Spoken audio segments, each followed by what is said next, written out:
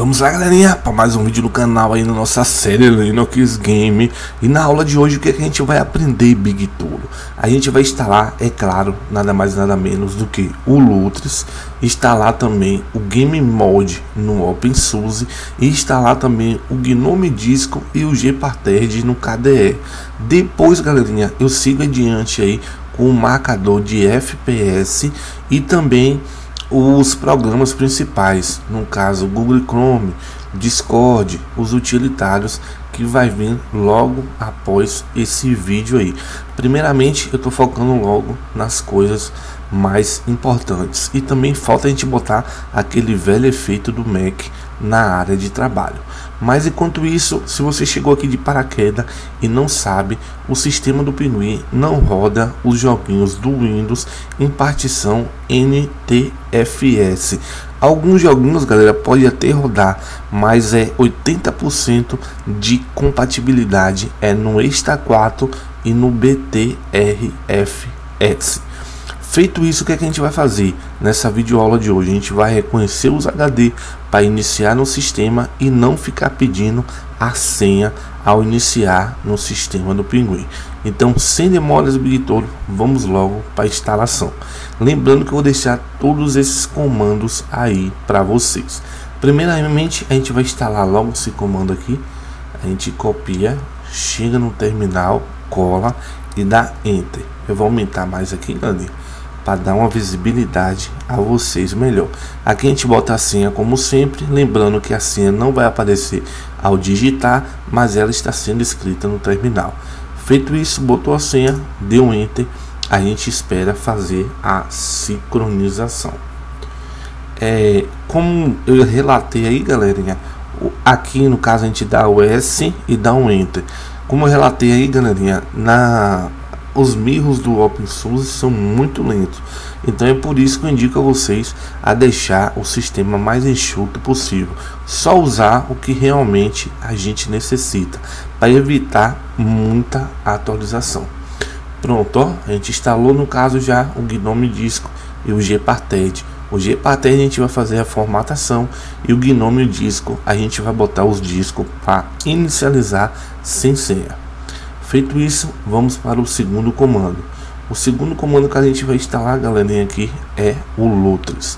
A gente dá um colar aqui, sudo zip install Lutris e dá enter. Aqui a gente dá um S e dá um enter novamente.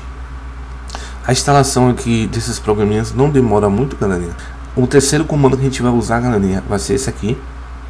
sudo zip install game mode dá um colar e dá um enter novamente. Aqui a gente dá um S de sapo e enter no teclado normalmente. Pronto, feito isso aqui, essa primeira parte, galerinha, tudo instalada, a gente vai agora reiniciar e eu volto com o computador reiniciado. Então, segura aí. Vamos lá, galerinha. Computador reiniciado. Eu vou abrir no caso aqui o meu Dolphin e a gente vai ver aqui, ó, que eu tenho vários HDzinhos, tá até com símbolozinho laranja. Esses HDzinhos que tá com símbolozinho laranja, galera, não tá montado. E o que acontece, Bigtoro? Se o Bigtoro for clicar no HDzinho desse, ele fica pedindo a senha para montar. No caso, a senha aqui é a nossa senha padrão. Mas isso é chato que toda hora ou toda reinicialização eu vou ter que ficar clicando HD por HD e montando. Como é que a gente vai resolver esse problema aqui? A gente vai fazer o seguinte, aqui já instalado, a gente vai clicar no Gparted. Ele vai abrir logo de cara aqui, ó. Gparted. Abrindo o Gparted, vai pedir a nossa senha, a gente vai colocar nossa senha e dar um OK. Eu tenho um HDzinho aqui já no sistema, galera, de 30 gigas. Como é que eu reconheço esse HD no sistema, Big Meus HDs, galera, fica tudo aqui, ó. É só a gente clicar na setinha, selecionar o HD, no caso eu tenho um HD de 28 gigas e tá no formato NTFS, como vocês podem ver aqui. Para eu poder rodar o joguinho nele no Linux, eu vou ter que formatar ou em Insta4 ou em BTRFS. Como é que eu faço isso, Bigtoro? É muito fácil. Lembrando que esse HD aqui, ao formatar, a gente vai perder tudo, vai zerar ele. Qual a coisa primeiramente que o Bigtoro faz? Se o seu HDK já estiver desmontado, você vai clicar aqui com o botão em cima do HDzinho e vai ter a opção desmonte. A gente vai desmontar. Não é o meu caso porque o HD não está montado. Como o HD aqui está no principal, eu só vou clicar com o botão direito aqui e botar primeiramente excluir. Excluindo, nota que ele vai ficar tudo cinza. O que é que eu vou fazer, Brito? Vou clicar com o botão direito nessa parte cinza, vir em novo e aqui eu vou escolher a partição. No caso já está aqui, galera, ó, esta 4. Mas se eu quiser outro formato, também tem. FAT 32, FAT 16. Isso aqui serve também, galera, para vocês formatar pendrive ou formatar qualquer HD externo ou interno. Nesse caso, eu vou selecionar o Extra 4. Vou selecionar um Extra 4 e boto o nomezinho aqui, adicionar. Nota que ele já fez a pré-instalação, mas ainda não formatou. Para ele executar a formação, a formatação, o BigToro vai ter que chegar nesse vizinho aqui e clicar. Feito, clicou nesse vizinho, vai aparecer essa mensagem e a gente vai dar um aplicar. A gente só vai esperar essa, formata, essa formatação, esperando aqui, galera, o dependendo do tamanho aqui, vai do HD ou do PC. Se é SSD, se é um HD mecânico, essa demora aqui é relativa. Deu esse nomezinho operação concluída, a gente já clica em fechar. Pronto, o HD já está apto a rodar os joguinhos do sistema do Pinguim. E como é que eu vou fazer isso aqui para ele fazer na ele reconhecer na inicialização sem estar tá pedindo senha ao montar? Muito fácil. A gente vai clicar aqui na área de trabalho novamente e vai digitar o nome agora discos ele já vai aparecer de cara. A gente vai clicar no nome discos e abrir. Feito aqui, como vocês podem ver, tá meu HDzinho aqui, ó, de 31 GB. No caso, meu HDzinho de 30 GB. Eu posso fazer de duas maneiras, Miguel. Eu clico nele, clico nele aqui, ele me dá uma configuraçãozinha aqui do lado, eu clico nessa chavinha aqui do lado e venho aqui em duas opções. Primeiramente, eu posso também formatar esse HD novamente, colocar e renomear o nome que eu quero. No caso, eu vou botar aqui HD 32 bits ou oh, 32 gigas. Isso aqui fica a gosto de vocês, eu vou botar HD 32 GB, selecionar como está aqui, ó, em Extra 4 e dar um próximo. Feito isso, ele vai pedir para formatar, eu vou clicar em formatar. Feito isso aqui, ele vai pedir a senha, a gente vai botar a senha. E aqui dá um OK. Nota que está uma barrinha que ele está fazendo o processo de formatação. Tanto aqui como aqui fica girando. Acabou de girar, já está pronto.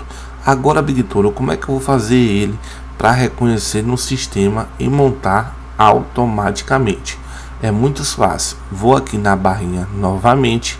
Vou, vou clicar aqui editar opção de montagem e editar a opção de montagem nota que está tudo oculto nessa partição de usuário aqui em padrões de sessão de usuário eu só vou marcar essa janelinha para a esquerda marcando essa janelinha para a esquerda não vou fazer nada aqui. Só vou dar um ok. Dando um ok aqui ele vai pedir a senha a gente vai dar a senha e vai dar um ok. Feito isso não vamos fazer nada.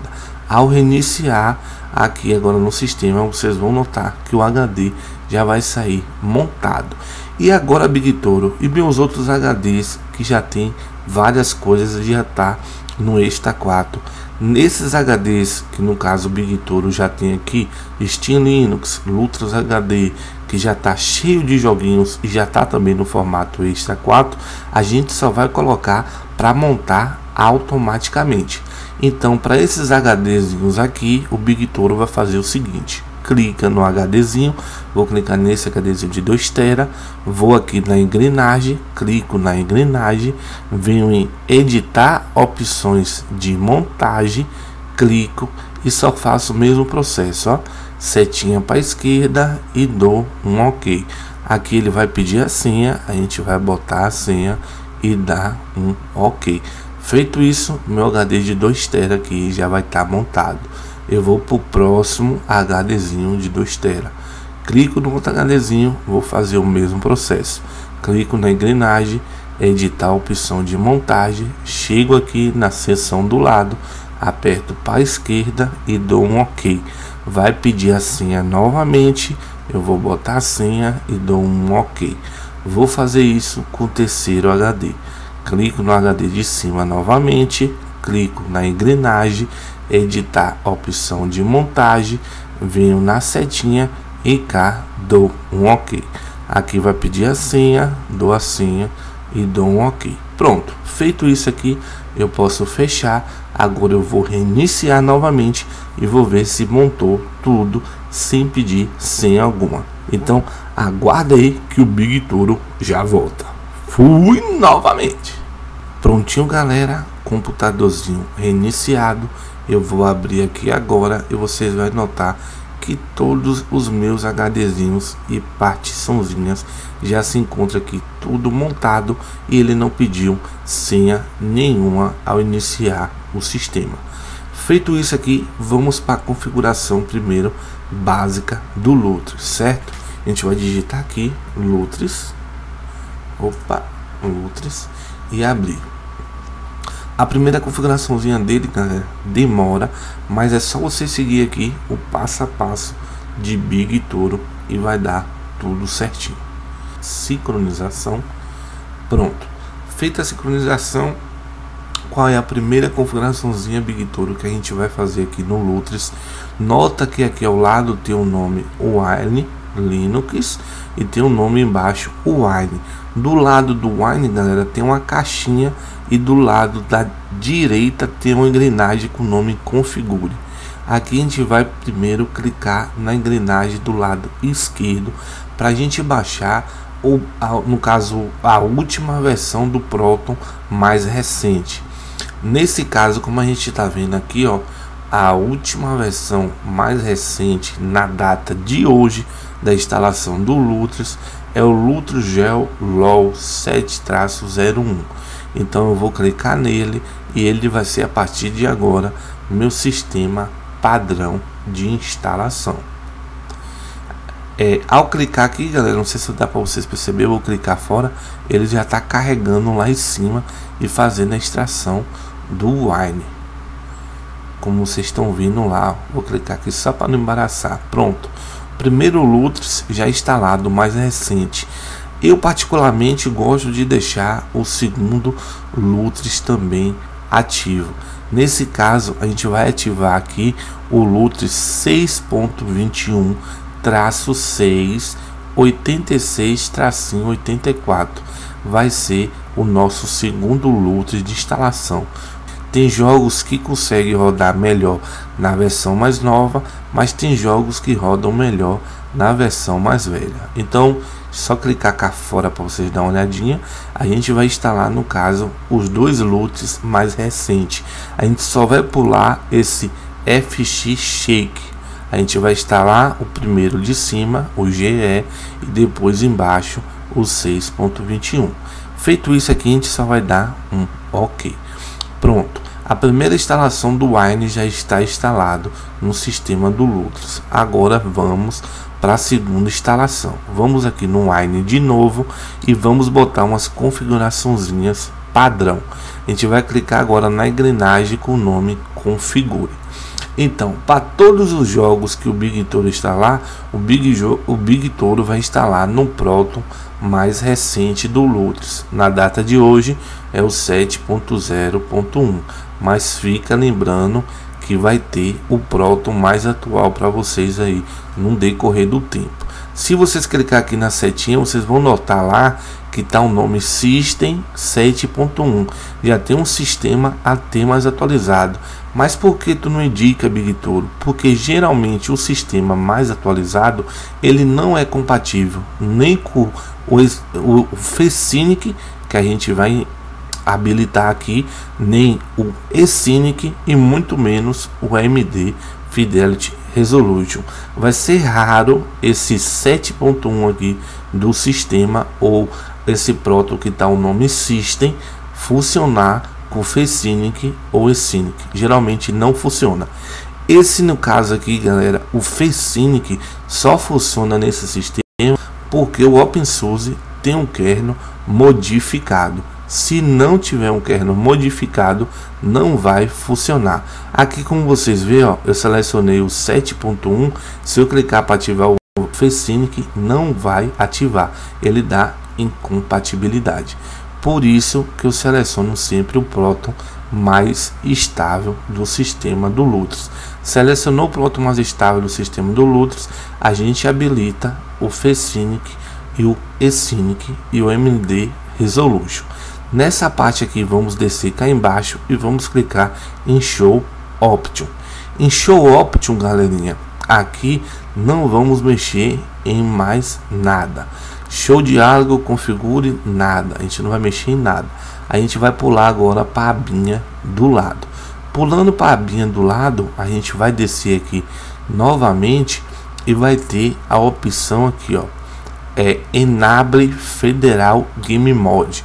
Esse Enable Federal Game Mode a gente instalou antes de eu reiniciar o sistema. Então o Lutris já entende automaticamente e por si só ele já ativa no sistema aqui do Pinguim. Outra coisa, galerinha, que eu gosto aqui de ativar é o Vulkan. É, para marcar no caso os nossos F PS. E onde é que fica esse Vulcan Big Touro? Na verdade, galera, ainda não tá aparecendo. É o Mango Road e o FPS. Mas como ainda não instalei o Goverlay e nem o Mango Road, ele se encontra desativado no Lutris. A gente vai fazer a instalação agora do Mango Road, o VK Basalt e o Goverlay para funcionar no sistema do Lutz. Então aguenta aí que essa videoaula já ficou grande e na próxima aula a gente faz as configurações. Então, feito isso aqui, Big Toro, lembrando que tá tudo certinho, é só dar um salvar. Feito um salvar, clica aqui logo na setinha, bota fixar no lançador, que ele já vai ficar bonitinho aqui no nosso dock e vamos fechar. Então, quem está gostando do conteúdo, galera, deixa um like, se puder, compartilha e se puder ajudar ainda mais, faça aquele pix maroto. Fui!